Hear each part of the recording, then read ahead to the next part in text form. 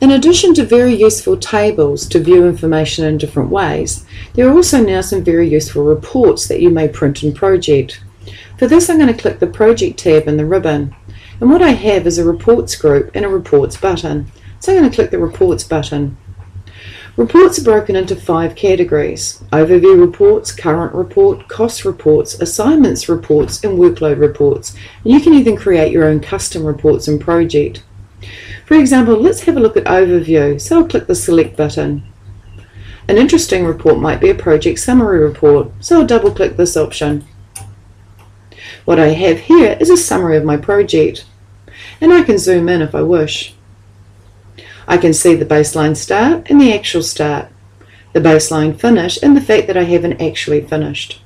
I can see the baseline duration and the actual duration and remaining duration, and that I'm 42% complete through the entire project.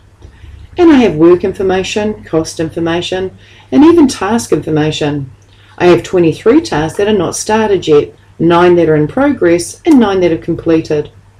And I also have 21 resources, of which none are over allocated. So that's a very nice report. Let's look at some of the other reports. I'll go back to the Project tab in the ribbon and back to the Reports button. If I have a look at some of the reports in the Assignments group, I'll double click Assignments.